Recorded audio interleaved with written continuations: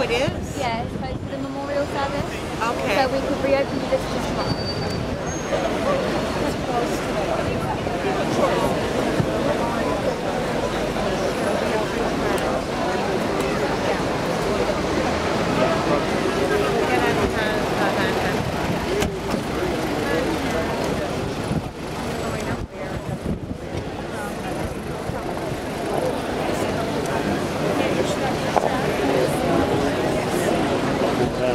Oh, get some graphs, innit? Oh yeah, a woman. Oh yeah, yeah. What's her name? Ju- June Whitfield. Yeah, that's it. You gonna ask her? If you ask her, I'll ask her.